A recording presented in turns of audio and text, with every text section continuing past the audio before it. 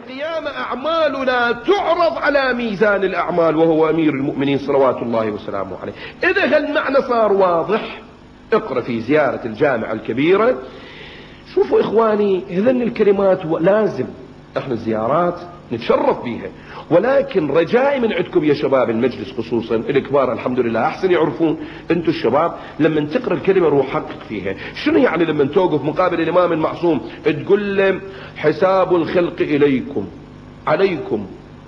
إياب الخلق إليكم وحسابه عليكم وفصل الخطاب عندكم. كل شيء يوم القيامة بيدكم.